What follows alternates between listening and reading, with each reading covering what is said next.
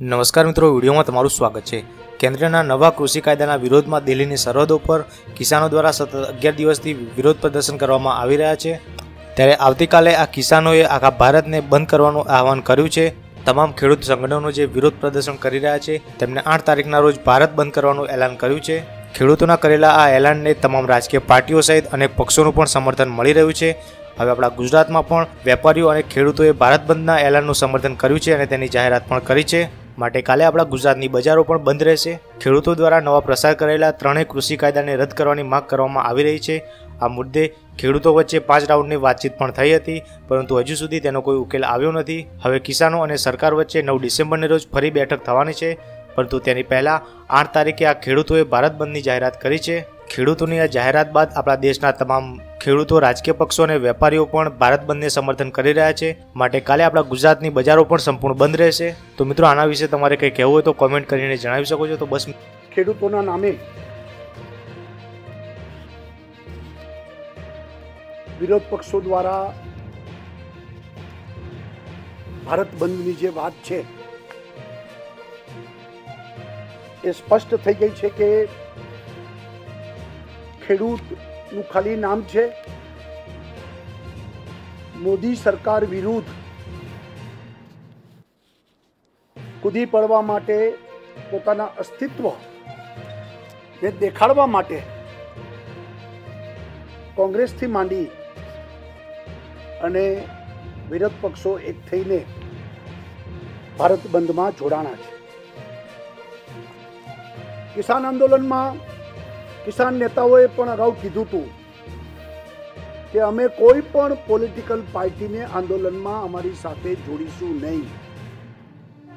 એને બદલે કાલે આ બધા લોકો સાથે મળી અને આ બંધમાં જે રીતે કૂદી પડ્યા છે, એ જ દેખાડે છે કે અંતે ખેડૂતનું નામ છે, બાકી રાજકીય રીતે જ આખું આંદોલન ચાલી રહ્યું છે. કોંગ્રેસનું તો અસ્તિત્વ ખલાસ થઈ ચૂક્યું છે. લોકસભાની ચૂંટણી, વિધાનસભાની ચૂંટણીઓ, નગર નિગમની ચૂંટણીઓમાં, ગુજરાતમાં પણ આઠે આઠ બેઠક ઉપર કારમો પરાજય. એટલે કોંગ્રેસ સાથે ન કોઈ ખેડૂત છે, ન પ્રજા છે, કોઈ વર્ગ છે. કારણ કે કોંગ્રેસ પ્રજા સાથેના સંપર્ક ગુમાવી બેઠી છે. કોંગ્રેસ ઉપર કોઈ વર્ગને ભરોસો પણ નથી અને ખેડૂત તો કોંગ્રેસ સાથે નથી જ. એ ચૂંટણીના પરિણામોએ પણ સાબિત કરી આપ્યું છે. એટલા માટે કે કોંગ્રેસ દરેક વખતે પોતાના વલણ બદલાવે છે. હું કોંગ્રેસને યાદ દેવડાવવા માંગુ છું કે કોંગ્રેસના લોકો ઇન્ટરનેટ ખોલી લે.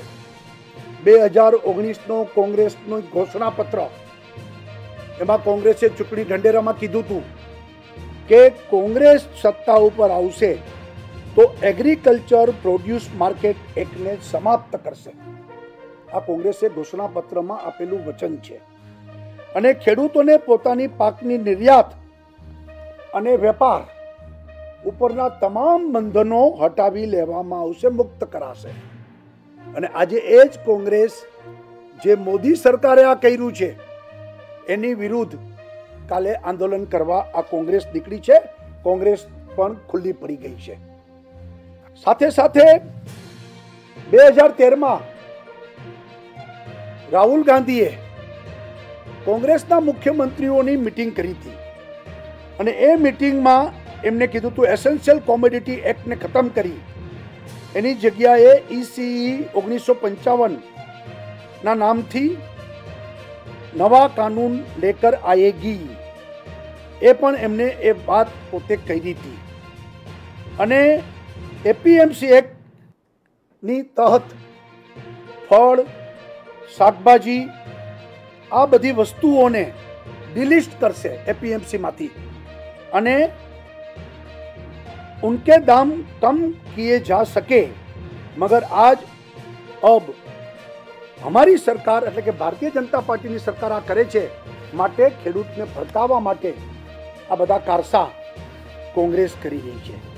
એવી જ રીતે શરદ પવારે પણ એ જ્યારે કૃષિ મંત્રી હતા ત્યારે દેશના બધા મુખ્યમંત્રીને પત્ર લખ્યા હતા. અને શરદ પવારે કહ્યું હતું કે મંડી એક્ટમાં બદલાવ જરૂરી છે, પ્રાઇવેટ સેક્ટરને આવવા દેવું જરૂરી છે, ખેડૂતોને કોઈ પણ જગ્યાએ પોતાનો માલ વેચવા માટે અવસર મળવો જોઈએ એ શરદ પવારે પણ કીધું છે અને એનો જવાબ પણ રાષ્ટ્રીય કોંગ્રેસ પાર્ટીએ પ્રજાને આપવો જોઈએ. કે ત્યારે તમે કેમ કીધું હતું શરદ પવાર જ્યારે બોલ્યા, ત્યારે મનમોહન સિંહની સરકાર હતી અને સરકારને સમર્થન Samajwadi party, RJD, CPI, CPM એ બધા દળો કરતા હતા. અને બે હજાર પાંચમાં શેખર ગુપ્તાએ એક ઇન્ટરવ્યુ લીધો હતો. એ ઇન્ટરવ્યુમાં પણ એપીએમસી એક્ટ કેટલા સમયમાં દૂર થશે એવું શરદ પવારને પૂછ્યું હતું અને શરદ પવારે જવાબ આપ્યો તો છ મહિનામાં અમે આ એક્ટ દૂર કરશું. એટલે શરદ પવાર પણ મગરના આંસુ સારવા નીકળ્યા છે. યોગેન્દ્ર યાદવ હાલ કિસાન આંદોલનકારી તરીકે ત્યાં આંદોલનમાં જોડાયેલા છે. એને બે હજાર સત્તરમાં ટ્વીટ કરી હતી કે એપીએમસી એક્ટમાં મોદી કેમ તમે બદલાવ નથી કરતા? ત્યારે નરેન્દ્રભાઈને કહેતા હતા, તમે બદલાવ કરો. એને ટ્વીટ કરી હતી અને આજે એ બદલાવનો વિરોધ કરી રહ્યા છે. સમાજવાદી પાર્ટીના નેતા અખિલેશ યાદવના પિતાશ્રી મુલાયમસિંહ યાદવે પણ ખેડૂતોને મંડી કલ્ચરમાંથી બહાર લાવવા જરૂરી છે અને એ માટે પ્રયત્નો થવા જોઈએ. આ વાત પણ એમને કરી હતી. એટલે ખેડૂતોના નામે આ બધું ચલાવવામાં આવે છે, ખેડૂતોને ભ્રમિત કરવામાં આવે છે. ભારતીય જનતા પાર્ટીએ અનેક વખત કીધું છે કે અમે એમએસપી ચાલુ રાખવાના જ છીએ. એમએસપીના ઉલટાના નરેન્દ્ર મોદીએ એમએસપીનો વ્યાપ વધાર્યો છે. એમએસપીના ભાવ પણ વધાર્યા છે. પહેલાં કરતાં દરેક વખતે એમએસપીમાં ખૂબ મોટા પાયા ઉપર મોદી સરકારે એમએસપીને ભાર આપ્યો છે. ગુજરાતમાં પણ આપણી સરકારે, મારી સરકારે છેલ્લા ત્રણ વર્ષમાં આ ચોથું વર્ષ ખરીદી ચાલે છે. ત્રણ વર્ષમાં પંદર હજાર કરોડ રૂપિયાથી વધુ ખરીદી એમએસપીની મારી સરકારે પણ ખેડૂતોની કરેલી છે. અને એનાથી ખેડૂતોને સંતુષ્ટ છે. એટલે હું એમ માનું છું કે આ આંદોલનકારીઓ એ આ એપીએમસી એટલે બધા એક્ટ ખતમ કરવાની માગણી કરી રહ્યા છે. એ વ્યાજબી નથી. ભૂતકાળમાં બધા લોકો આ વાત કરેલી જ છે.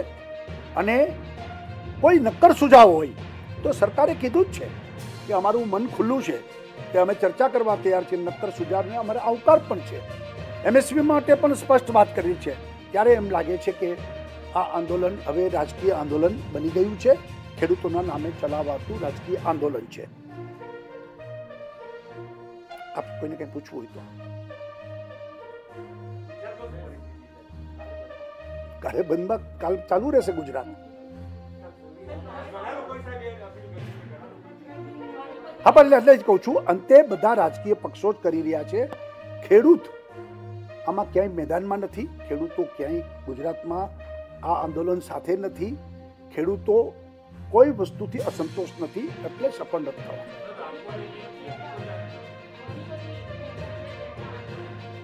એ પણ હશે.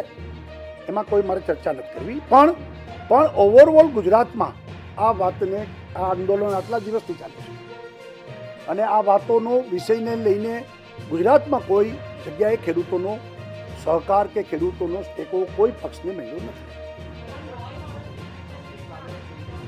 અમે આવતીકાલે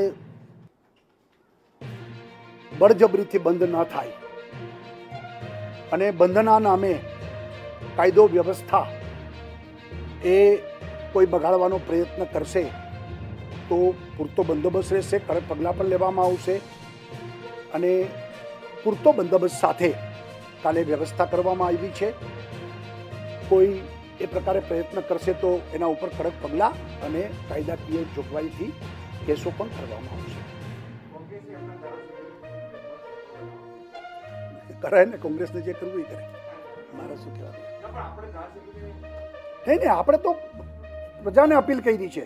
અને પ્રજા વચ્ચે સાચી વાત કરી છે કે શું ચાલી રહ્યું છે. પ્રજા નક્કી કરશે કાલે.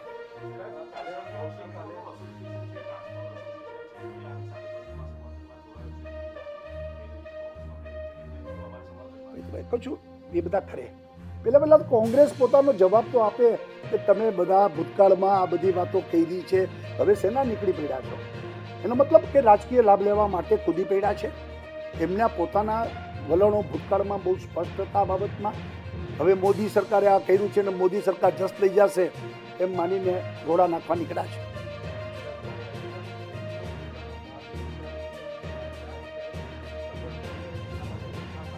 ચોક્કસ ચોક્કસ જે પીએમસી પોતે માગશે, એને પૂરતો બંદોબસ્ત આપવામાં આવશે, ત્યાં વ્યવસ્થા પણ કરવામાં આવશે.